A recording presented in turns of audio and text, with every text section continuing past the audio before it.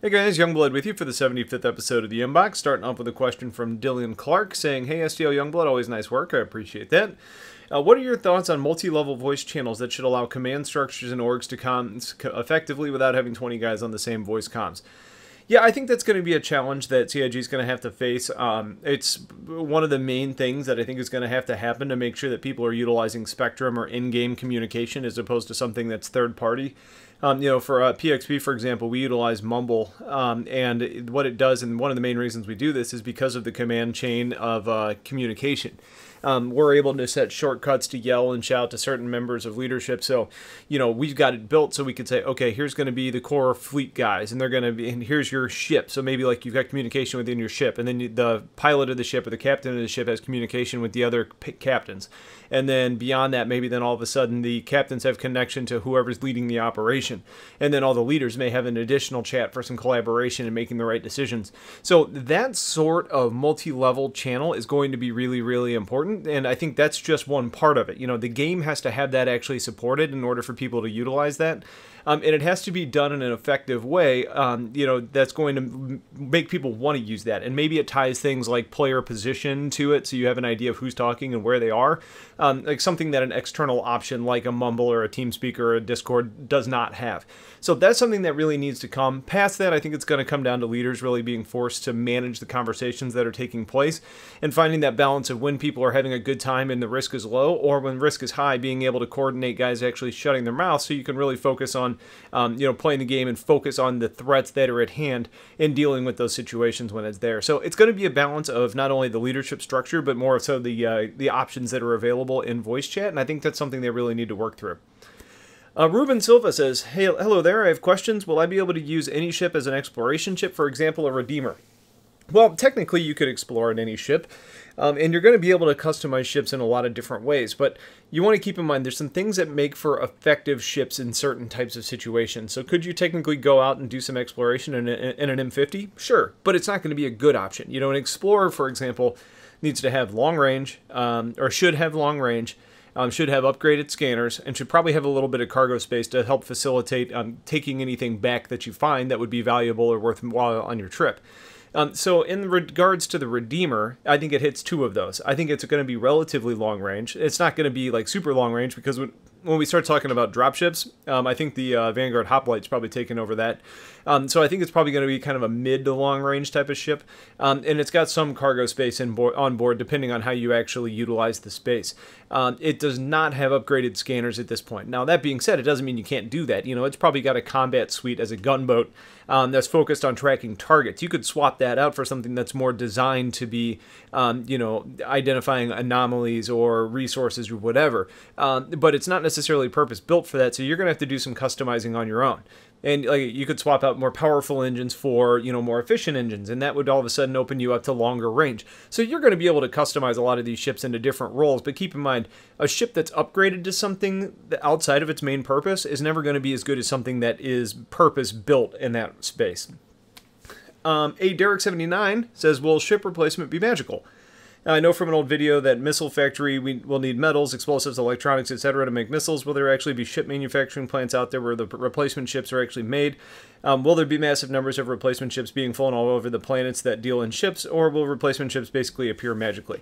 Um, some of that we don't know yet. Like, we don't know how you're actually going to get the ship, but we do know that planets have manufacturing um, locations. You know, we've heard about an Aegis plant, we've heard about a Consolidated Outlands plant in the lore. Um, so there are going to be locations where your ship is actually going to be made, and that's going to end up having an impact on when you get your ship back. The more rare a ship, the harder it's going to be for you to get, the longer it's going to take. Um, if there is a shortage of materials in a certain system, that may end up making it longer for you to get your ship back. You know, you may end up having to pay a premium in order to get it back faster. So yeah, I mean, there is going to be pieces that are more advanced than just magically showing up. You know, it's going to not be immediate unless you pay for it to be immediate, and even then, it might just be expedited. Um, but you know, as far as how it gets from the plant to you, I don't know. Um, I don't think somebody's going to have to fly it to you, or you're going to have to go get it. Um, but we'll end up just having to see.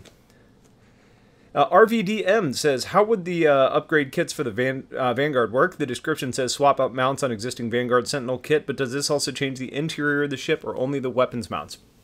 So the Vanguard's an interesting ship um, because it's got a couple different things that are going to be impacted by the battlefield upgrade kits. Um, you know, basically what you're changing out is everything but the hull. And when I talk about the hull, I'm talking about the uh, pilot, the cockpit and the pilot's area and the spot right behind it. Um, and then in the very back of the ship between the airlock and the um, you know the ramp that you enter the ship with. So, um, but everything between the airlock swaps out, almost like a, a, cube that just comes out, and you put a new one in there. Um, and then additionally, all the hard points end up changing as well. So when we start talking about the Sentinel kit, um, in the Warden, you're getting rid of like the living quarters and the inside. You're getting rid of the turret on top, and that's going to be swapped out to a point to where you end up having um, the uh, in the Sentinel. You're going to have the um, databases and the uh, servers on the inside, uh, and the control modules for that, and the turret all of a sudden becomes a um, you know, like a electronic warfare station. Uh, you know, if you do that on the Harbinger, you're swapping that out. You're putting the torpedo launchers and uh, management system on the interior cube, and on the top, you're putting a uh, rocket turret. Um, and those are the types of things that are going to be swapped out. So basically, the whole of the ship and the paint job stays the same. Um, the components in the center of the ship is what changes. Uh, Shadows A to B says, STL, how aggressive do you think the universe is going to be in terms of how hostile most common space will be uh, to get through for people on a peaceful mission, such as cargo running, exploration, salvage, etc.? Thank you much. I'm going to change drastically depending on where you are, um, and probably partially based on your reputation as well. You know, if you're just exploring Terra or some relatively safe area, you're not going to be harassed as much you know, I think if you're exploring, you know, Vanguard or something that's a little bit more deadly, like Terra or Magna, or not Terra, like Magnus or, you know, some of the known pirate locations, then you're probably going to have a harder time. So the reputation of yourself, um, you know, if you're known to be a deadly player, you know, if you've got a lot of kills on your record, people may leave you alone. Um, the type of ship that you're in is going to have an impact. You know, if you're hauling cargo in a freelancer, you're probably less likely to be harassed than if you're hauling cargo in a Hull A. Um, you know, there's going to be a lot of factors in there if you're sticking to relatively safe space, I think your risk is going to be relatively low.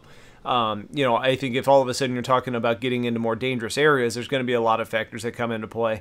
And you may end up just having no issues at all on a run, but sometimes you may be stopped three or four times depending on what's happening. So um, the, the system security is going to play a big part of it. Um, your overall reputation is going to play a part of it. Your ship is going to play a lot of it. Um, and then I would say even, uh, you know, probably more importantly is if you have any escorts or not. So if you're in a dangerous area and you're doing cargo by yourself, you're probably at risk. If you're doing a cargo mission with two Sabres as an escort, you're probably a lot likelier to be okay. So um, there's too many factors to just answer that question straight up. Um, but I think if you take what I just said and kind of apply different scenarios, you'll get a better idea of how dangerous it's actually going to be. Uh, Sean Whatstone says, question, in last week's ATV we saw the Vanguard and the Javelin, so what all ships can carry my Vanguard? Um, right now, I think it is just the Javelin. I think it's actually too big to fit in the Idris. It definitely doesn't fit in the Polaris. Um, it may may fit in the um, in the Endeavor Hope uh, section. You know, the the new Cutlass um, is probably questionable, though it is designed to actually carry the Cutlass Red, so I would assume that it has to fit in there. Um, so I think it's really just going to be one or two of those ships. Um, you know, I think the Bengal would probably carry it, but the chances of you getting a Bengal are going to be pretty low. but you got to remember, the purpose of the Vanguard is to be long range. It's not necessarily supposed to be a carrier-based ship, so it's designed to let you go long distance without relying on a carrier. So um, it's not going to be forced into a lot of hangars to be able to accomplish what you want, and because of that, it's not necessarily going to fit in many of those either.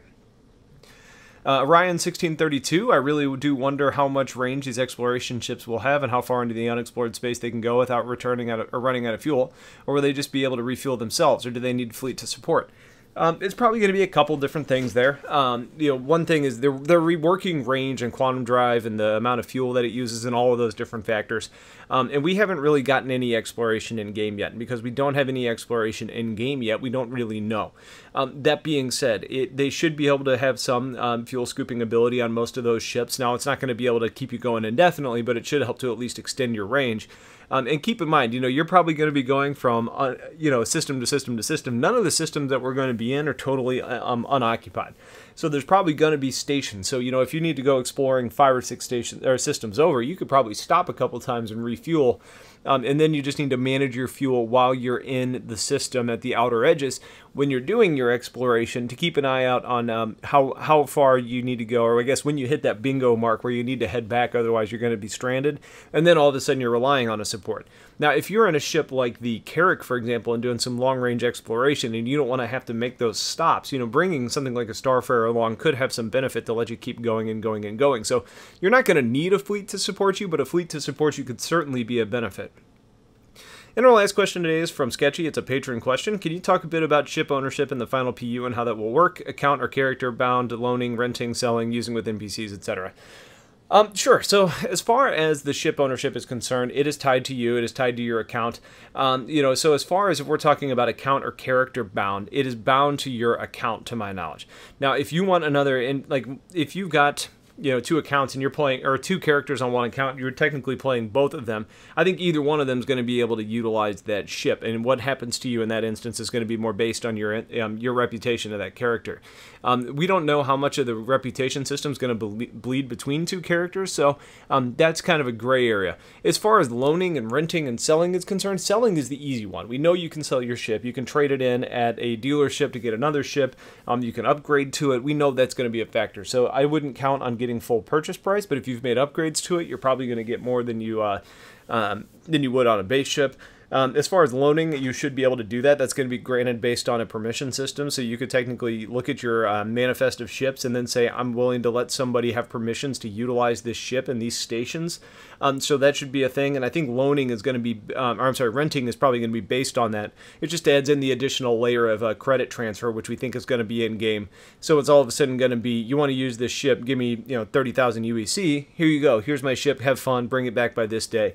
And then maybe if they don't bring it back by that day, then all of a sudden you can you might have the ability to lock them out or something like that remotely but chances are if you needed it back and somebody ran away with it you'd be uh, filling out a bounty on them and then as far as NPCs go, um, that, that one's pretty straightforward. You know, you're going to go to a job board. You can hire people to get on your ship. You can control them via the uh, uh, NPC control mechanisms that they're going to have in place. Some NPCs are going to be better at different stations and everything along those lines. So um, I think there's a lot there. If you want to kind of hit me up in a, with a part B of this with specifics you want me to talk about in there, I'm happy to do it. But um, you know, the ability to control um, the NPCs is going to be directly tied to what they're good at doing and what you're paying them to do and how you're assigning them within your ship. So that's this episode of the inbox. If you guys have questions, get them in. Otherwise, stay tuned for more and have a great day. Take care.